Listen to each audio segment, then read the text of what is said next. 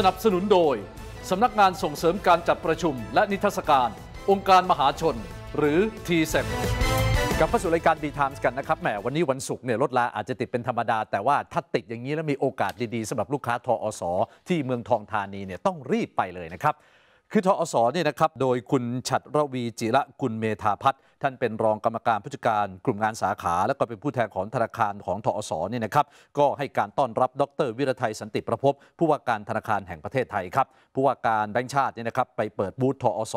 ภายใต้คอนเซปต์ GH Bank the Future House the Future Service นะครับเพราะว่าทางธนาคารธอสเนี่ยเขาจัดโปรโมชั่น เงินกู้บ้านดอกเบี้ยต่ำ 2.79%นาน 3 ปีแรกนะครับแล้วก็ยังมีเงินฝากซุปเปอร์ออมทรัพย์รับดอกเบี้ยสูงสุดถึง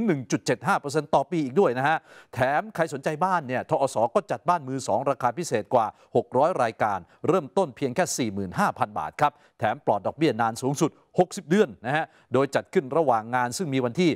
16-19 พฤษภาคมนะครับที่ Impact เมืองทองธานี และนอกจากนี้เนี่ยนะครับ ทางทอสก็เปิดให้ลูกค้าเนี่ยสามารถจองสิทธิ์ใช้บริการผลิตภัณฑ์ต่างๆ ทั้งทางด้านเงินกู้เงินฝากได้สะดวกรวดเร็ว ผ่านแอปพลิเคชัน GH Bank Smart Booth นะครับ โดยธนาคารเนี่ยแบ่งพื้นที่ภายในบูธใหญ่มากเลยฮะ ออกเป็น 5 โซนหลัก มีทั้งโซนสินเชื่อบ้าน โซนเงินฝาก โซนทรัพย์ NPA หรือว่าบ้านมือ 2 โซนโครงการธอสโรงเรียนการเงิน และโซนแอปพลิเคชัน GHB All นะครับใครสนใจก็ไปกันได้นะครับที่